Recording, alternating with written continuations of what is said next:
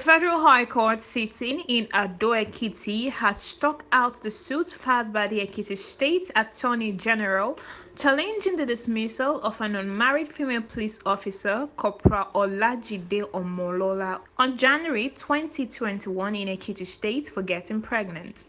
Delivering the judgment, Justice Babs Kuewumi struck out the case on the grounds that it constitutes an abuse of court process as the same matter is before the National Industrial Court in Akure. He upheld that an attorney general has a locus standing to persecute members on behalf of the litigants and protect citizens' rights. The Ekiti State Attorney General Olawale had instituted a civil suit against the Inspector General of Police earlier this year, seeking an order of court voiding Section 127 of the Police Act and Regulation, which provides for discharge from police force women public police affairs who become pregnant while unmarried unconstitutional.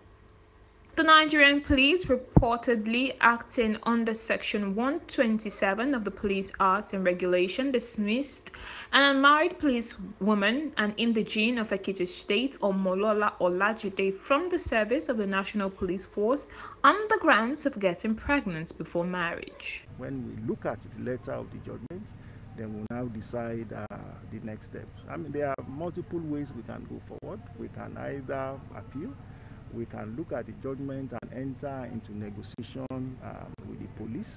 We can go and look at what is happening at the National Industrial Court uh, in Akure and see um, whether we have any role uh, to play in that matter. So whichever way you look at it, there are a plethora of um, next steps that is available uh, to us.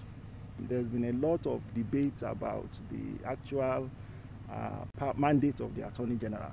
In Ekiti State, we have even gone further to enact a novel Attorney General's law, which essentially um, puts it in black and white what our duties, the functions, and powers.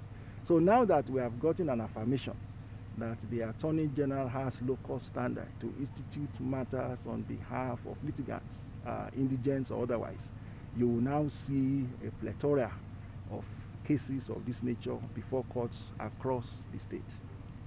It's when I was told that the case was uh, thrown out, the reason being that uh, the lady in question had earlier on filed a case against the police at uh, Akure on 3rd of March, while the Attorney General of the State filed his own against the police on 5th of March.